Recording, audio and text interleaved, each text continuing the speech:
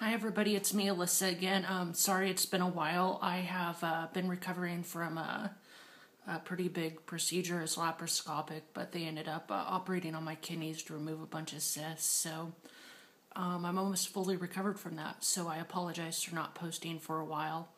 Um, but I want everybody to know that I have not stopped posting. So um, today's lesson is going to be uh, called How to Run Towards the Roar and Survive. So, um, what is the roar?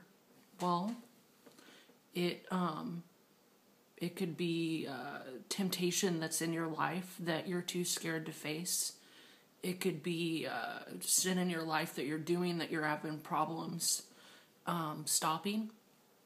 You know, it could be bad habits. Um, for me, the roar per se um, is uh, something that I've been scared of, and I found out that it's not as scary as I thought.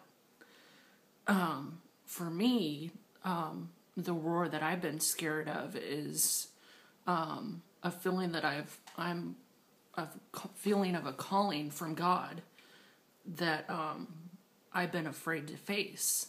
And you know, like with this YouTube ministry, I, I've you know, I'm pretty much just jumping head in, head, you know, head first, you know, regardless of all my all my faults. I'm saying, God, here I am.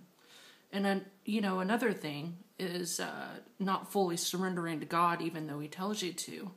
Um, that could be something that the devil really scares you about. That if you fully surrender to God, you know, then you're going to be in a horrible place and yada yada yada, and you're going to end up all these bad things. And the devil acts as a roaring lion. And that's the basis of today's lesson is the devil is a roaring lion and we're supposed to run towards the roar and survive. We're supposed to be constantly fighting the devil in spirit and in truth.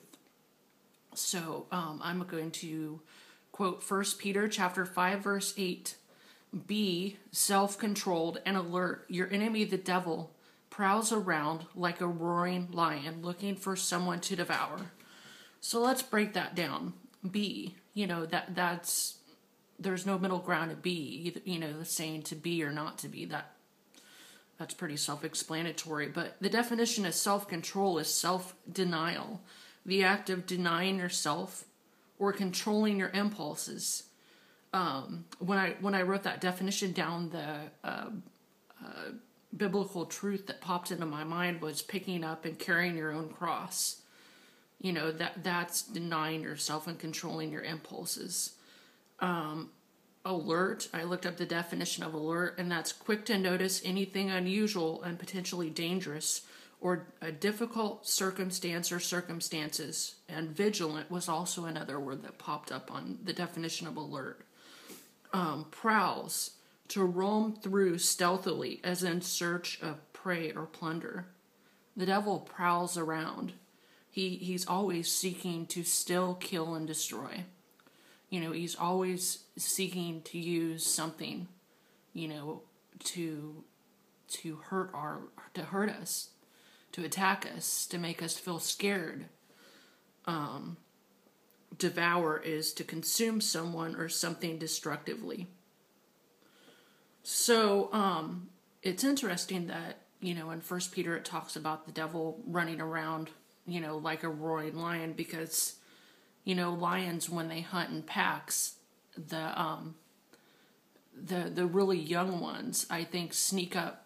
That well, all all the lions sneak up and they circle the prey, but um, the ones that roar are the ones uh, that are mainly the old ones like the really old old and weak lions.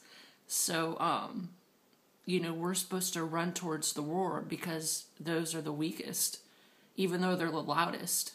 You know, it, I mean, when it comes down to it, the devil is just pretty much a coward, just doing, you know, just doing stupid stuff, trying to, you know, take our eye off Jesus, you know, and yeah, it's, um, it's sometimes hard to run towards the loudest thing or the scariest thing in your life. I've uh, lately had to run towards the roar myself and just give God all my fear.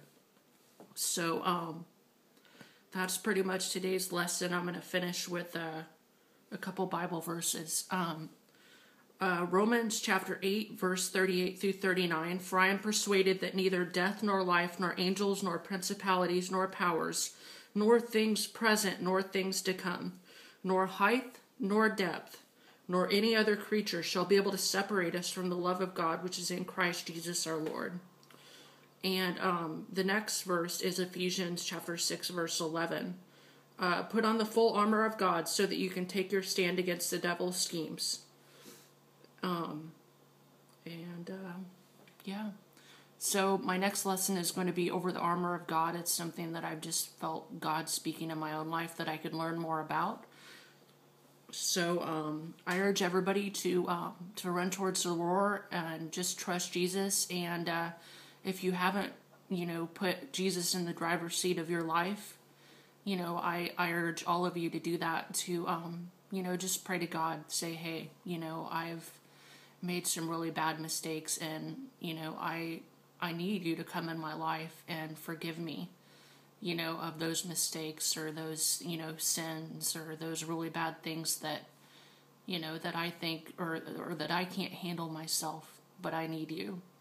I urge all of you just to, you know, just seek God in everything you do. You know, Bible says, "Seek and you shall find." Uh, so um, that's pretty much it for this lesson. Remember, run towards the roar because all the old weak lions are the ones roaring. And yeah, Jesus loves all of you. Doesn't matter what you've done. All you gotta do is just pray to Him and, and seek Him with all your will and all your might, and you'll find Him goodbye for now, and I'll uh, talk to you soon. Thank you for watching. Bye.